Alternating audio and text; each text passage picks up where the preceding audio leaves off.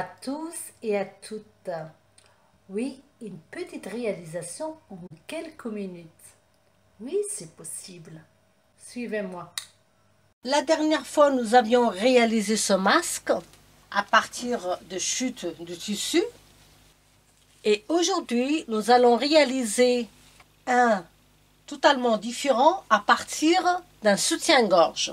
Alors, nous avons tous des, soutiens-gorge qui ne tiennent plus ou qu'on a tout simplement envie de changer.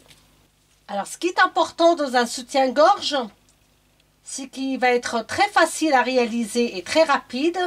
Et surtout, vous allez pouvoir récupérer pas mal de choses. Vous allez pouvoir récupérer l'élastique et les petites attaches. Un soutien-gorge vous donnera deux masques. Ce n'est vraiment pas négligeable. On est parti. Tout d'abord, vous allez découper la partie où il y a le sangle.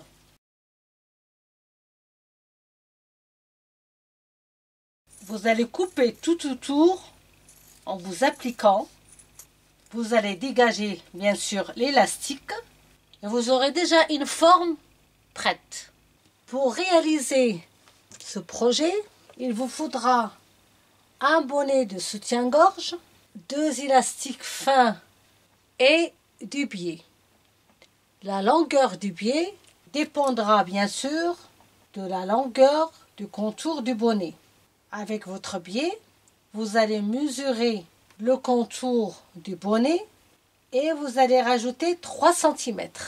3 cm de plus. Conclusion, un bonnet, deux élastiques et du biais. La couture. Tout d'abord, vous allez venir et maintenir le tissu qui est posé sur l'endroit, venir épingler, faire une couture près du bord pour maintenir tout l'ensemble. Une piqûre de la valeur de 3 mm.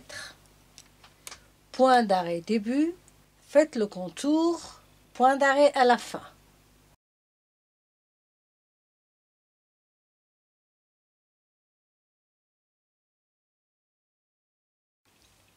La pose élastique.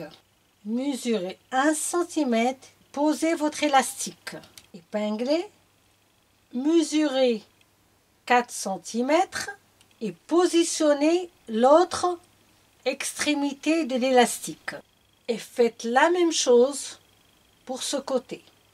Vérifiez que votre élastique soit bien dans le même sens. Faire un point d'arrêt sur chaque extrémité d'élastique. Posez l'élastique, bien sûr, à l'intérieur du masque, c'est-à-dire l'envers du masque. Droit, l'envers. Un bon point d'arrêt sera nécessaire pour bien fixer l'élastique.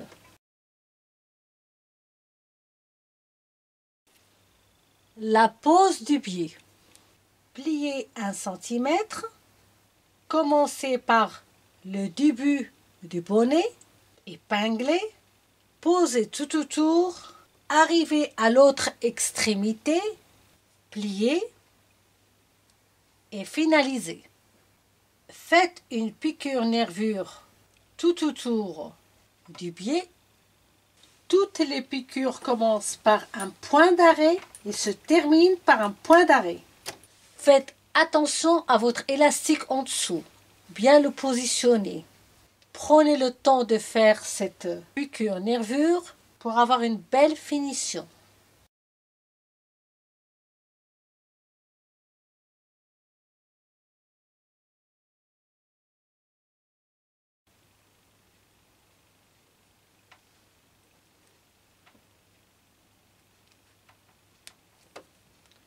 Venir et faites une autre surpiqûre au milieu du biais. Point d'arrêt début, vous faites le tour, point d'arrêt à la fin.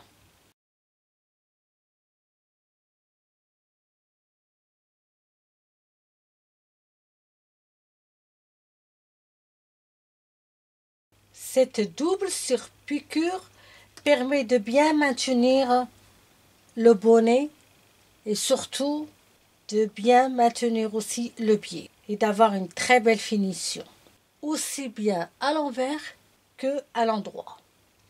Votre masque est prêt. Bien sûr, la longueur de l'élastique dépendra de, votre visage. Et la longueur du pied dépendra aussi du volume du bonnet. Et voilà, avec l'autre bonnet, j'ai enlevé la partie qui est en dentelle, je l'ai remplacée par le jean, une petite fleur, et voilà. Ça sera très bien de le mettre avec un jean. Des masques que vous pourrez assortir à vos tenues.